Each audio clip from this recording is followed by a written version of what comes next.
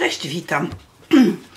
Tematyka e, szlachecko-wiejsko-ludowa będzie w tym filmiku za sprawą dwóch książek. Tej książki Kamila Janickiego pod tytułem Warcholstwo. Kamil Janicki napisał również książkę Pańszczyzna. Tak. Pańszczyzna, której ja nie czytałam, ale w warcholstwie bardzo ciekawie przedstawia tą szlachtę polską, oczywiście sarmacką, y, warcholską, czyli taką y, no, zadymiarską, pieniactwo, czyli so, włóczenie się po sądach, ale też podaje pochodzenie słowa szlachta, skąd wzięła się szlachta, rycerze, różnica. Całą tę wolność szlachecką charakteryzuje od liberum veto do wolnej elekcji, pospolite ruszenie i wszystko to, co właściwie znamy z historii. Ale jest to świetna podbudowa, ta książka Kamila Janickiego, do zapoznania się z taką, e, takim typem literatury, który występuje tylko w Polsce, z takim gatunkiem, jakim jest gawenda szlachecka. Twórcą gawędy szlacheckiej w Polsce XIX wieku, w epoce romantyzmu, był Henryk Rzewuski, przyjaciel Mickiewicza. Zresztą z, przyjaciel, e, z Mickiewiczem przede wszystkim przyjaźniła się jego siostra, czyli siostra Henryka Rzewuskiego, Karolina Sobańska, która była kochanką Mickiewicza, a druga z sióstr Grzewuskiego, Ewelina Hańska, wyszła za mąż za Balzaka. A więc siostry miał równie sławne jak on sam. Henryk Grzewuski stworzył mm, typ opowiadania zwany legendą, co ja gadam, gawędą szlachecką, w której narratorem jest, w których to mm, opowiadaniach narratorem jest zazwyczaj jest szlachcic y, zaawansowany wiekowo, który wspomina swoje, mm, swoją przeszłość, udział w sejmach, semmikach, rokoszach, kon, y, wyjazdach, konfederacjach itd. Tak mm, i który jest zwolennikiem złotej wolności szlacheckiej. To jest raczej typ konserwadysty, który uważa, że złota wolność szlachecka dała, była w Rzeczpospolitej tym, co mogło jej się najlepszego trafić z perspektywy czasu uważa, że szlachta to była grupa zachowująca pewne zasady obowiązujące w Rzeczpospolitej, które mm, pomogły jej się rozwinąć.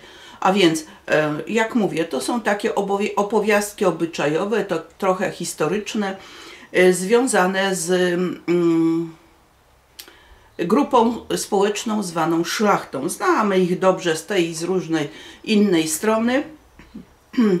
i raczej nie ma co ich idealizować, ale e, te powiastki Henryka Rzewuskiego cieszyły się ogromnym zainteresowaniem. Ich e, zwolennikiem był również Adam Mickiewicz, który e, na, po lekturze tej, ty, tychże powiastek napisał, znaczy było one w jakiś sposób inspiracją do napisania pana Tadeusza. A że Mickiewiczowi się te opowiastki podobały, świadczy o tym fakt, że y, główni bohaterowie jego poematu noszą nazwisko Soplica. Tak jak główny bohater pamiątek Soplicy Henryka Rzewuskiego. Tenże nazywa się Seweryn Soplica i kiedy opowiada te swoje historie, a jest ich tutaj, zapomniałam ile, ale chyba 15 albo 20 w pamiątkach Soplicy, ma już 80 lat. I wspomina przede wszystkim swój udział w Konfederacji Barskiej. Jest dumny z udziału w tejże konfederacji. Nazywa ją, e, że to było wystąpienie przeciwko królowi Stanisławowi Augustowi Poniatowskiemu, e, którego nie darzył szacunkiem, żeby łagodnie powiedzieć, oraz Rosji. A mm, e, szczególnie ubodło szlachtę to, iż mm, e, została wydana ustawa o tym, że innowiercy zostali zrównani w prawach z religią szlachecką, że tak w cudzysłów to wezmę.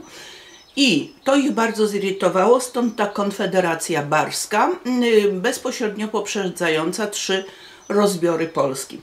E, więc Konfederacja Barska jest z porządku. E, wspomina przede wszystkim swoich towarzyszy walk I to są takie portrety właśnie tychże towarzyszy, y, zatytułowane na przykład pan Dzierżanowski, pan Bielecki, pan Azulewicz, pan Rewiński, książę Radziwił, pan Niekochanku, pan Ogiński i tak dalej. A więc portretów tych jest tutaj co niemiara. Każdy z tych bohaterów e, czymś się charakteryzował. Jest tu między innymi portret Tadeusza Rejtana, tego co to wiecie w drzwiach i na obrazie Matejki, jakim był człowiekiem, dlaczego mm, e, uczynił ten krok. No, z tego punktu widzenia e, te opowieści Włoskiego są bardzo interesujące, kiedy możemy poznać obyczajowość e, polskiej szlachty, ich sposób myślenia i o, przede wszystkim też charakterystyczny język. Język, chociaż opowieści powstały w epoce romantyzmu, to język jest właściwie barokowy, pełen makaronizmów, bardzo długie, rozbudowane zdania, jeżeli miałabym porównywać, no to z Paskiem, który jednak e, stworzył swoje pamiętniki 100 lat wcześniej. Ale obyczajowość jest. I bardzo mnie zainteresował. Jako pierwszy przeczytałam opowieść pod tytułem e, Jak wychodziłem, nie, Ożenienie się moje. Seweryn, e, Seweryn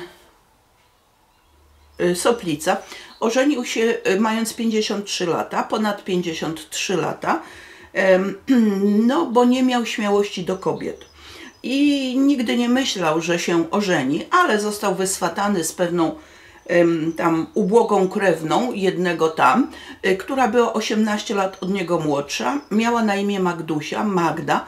No i jest tu przez zabawny moment zaręczyn, oświadczyn i zaręczyn, Mm, Seweryna Soplicy, ale ten krok uważa oprócz Konfederacji Barskiej za jeden z najwspanialszych w życiu, bo Magdusia okazała się wspaniałą żoną, e, e, towarzyszką życia i ubolewał, że odeszła wcześniej niż on, a więc ożenienie się moje.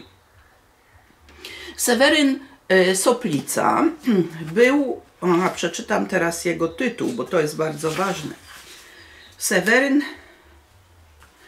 pamiątki jaśnie wielmożnego pana Seweryna Soplicy, cześnika Parnawskiego. Seweryn Soplica pochodził z Litwy, był tam cześnikiem i mm, w, rezydował w okolicach Nowogródka.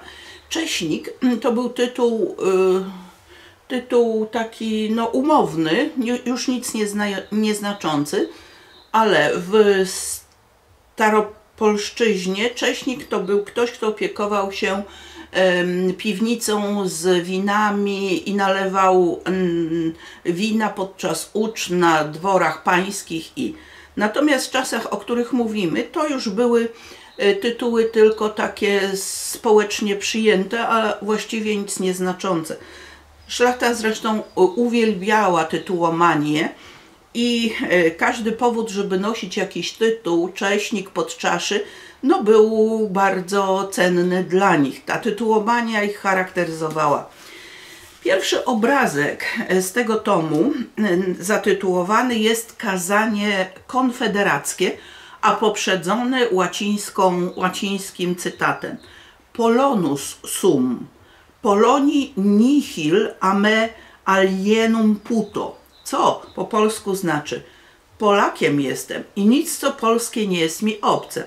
Już wiemy, że jest to parafraza sentencji Terencjusza i wiadomo. Ale to kazanie konfederackie jest y, bardzo ciekawe, bo zaraz Wam przeczytam cytaty charakteryzujące poszczególnych szlachciców. Kazanie zostało wygłoszone przez księdza Marka, karmelitę, cieszącego się olbrzymim szacunkiem wśród e, Polaków ówczesnych, szlachty.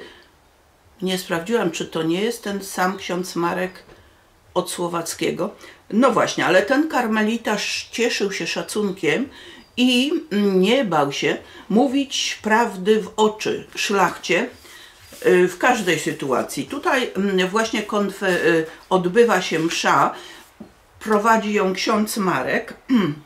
I teraz tak, podczas tej mszy y, znów w kościele znajduje się sama śmietanka szlachty litewskiej, nowogródzkiej, wszelkiej. Nie będę czytała tytułomanii, które tutaj są wymienione. Wreszcie ksiądz wchodzi na ambonę i wygłasza kazanie. Kochamy ojczyznę, mówicie między sobą w ciągłych swarach. Piękna to miłość, ojczyzny ziemię kochać, a z jej mieszkańcami się wadzić? Sami ogień e, tworzycie, albo do gotowego drew przykładacie. Było to po wygranej e, bitwie pod Landskoroną i mówią, że, mówi, że Konfederacja Barska powiększa waszą pychę, waszą swawolę, waszą rozpustę. I dalej mówi tak. Nie masz ratunku dla nas. Y, jesteście wszetecznikami i bundami. Co tam jeszcze mówi? To będą godni was panowie tacy poddani, tacy monarchowie. Tak, dalej. O. Y, ksiądz Marek miał y, sen, przyśnił mu się anioł, który wieszczył y, z gu- zagubienie Rzeczpospolitej. Mówił anioł tak. Źle się dzieje z ojczyzną twoją, nierząd ją zgubi. Wszyscy pragną rządu, a żaden z poczciwszych rządów nie chce. Król sas rządzi, ale nikt mu nie pomaga. Rząd leży na ziemi, a nikt schylić się nie chce, aby go podjąć. Przebrzydłe domatorstwo i nałogowe lenistwo was charakteryzuje. Ch- chodził od jednego do drugiego szlachcica, zachęcając go, żeby brał udział y, aktywny w rządzeniu, żeby wyjechał do Warszawy, pomagał królowi i wtedy co takiego usłyszał? Y, mówi tak, do jednego się zwrócił i oto wiesz, co usłyszał? Od Radziwiła, panie kochanku, ja będę w Warszawie rządził, a mnie pan Michał Rejtan wszystkie moje niedźwiedzie wybije. A drugi powie, e, powiedział, ja będę w Warszawie siedzieć, kiedy to człowiek przywykł wymykać się od żony, żeby po kilka dni ciągle z panem miecznikiem ciesielskim pić, kiedy pani wojewodzina i tak dalej, a więc zabraknie mu takich uczt. Mówi, ja będę w Warszawie, a dyspozytory zapomną gospodarstwa, kiedy ja będę gdzieś tam. Co tam jeszcze mówi? E, Tego to, Panie Boże jedyny, niech no się oburuję w Białymstoku, to ojczyznę, ojczyźnie pomyślę. O, ja będę w Warszawie siedział, a stado moje sparszywieje. Otóż to jest wasza miłość do ojczyzny. Czyli nie boi się e, Henryk Grzewuski e, takich oskarżeń e, wypowiadanych przez księdza Marka. Są dwa rozdziały poświęcone księdzowi Markowi, księdzu Markowi. Naprawdę polecam. Czyta się, jak już powiedziałam, no uprzedzam, język jest trudny. Żadnej dynamicznej akcji tutaj nie ma, ale świetny obraz y, szlach, polskiej szlachty, mm, która XVIII-wiecznej, która, em, no jak mówię, gębę miała pełną frazesów o miłości Rzeczpospolitej, a kiedy przyszło naprawdę em, coś konkretnego zrobić, to wymigiwała się od swoich em, obowiązków dla ojczyzny. Polecam pamiątki Soplicy Henryka Rzewuskiego. Jako suplement do tych dwóch książek trafił mi się ostatnio Tygodnik Powszechny z 13 marca. Tygodnik Powszechny, wydanie specjalne. Historie ludowe.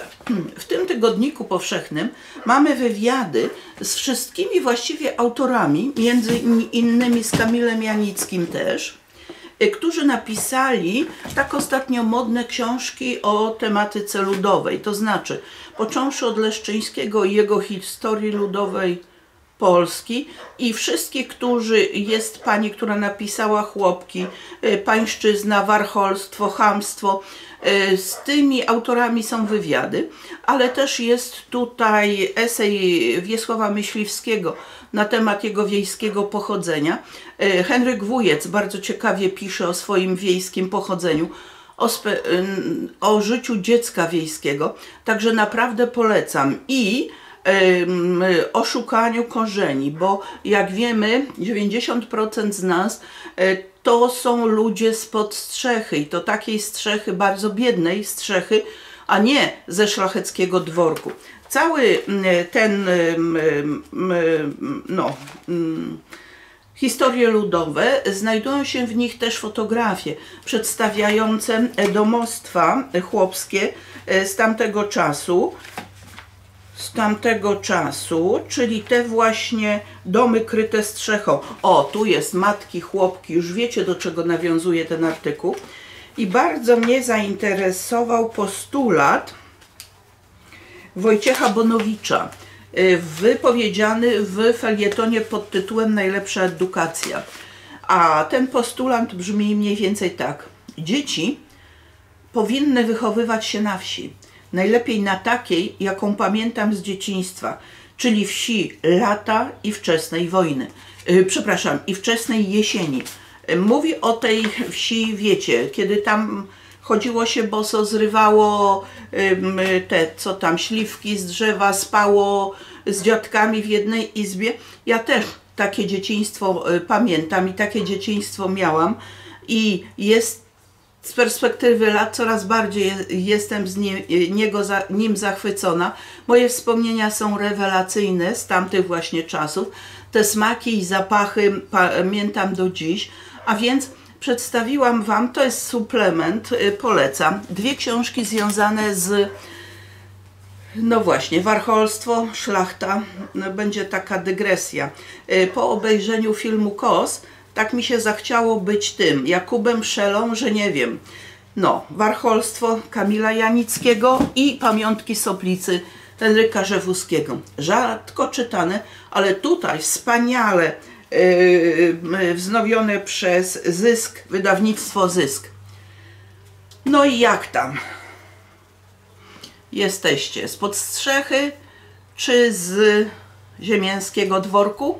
Podyskutujmy. Dziękuję. Do zobaczenia.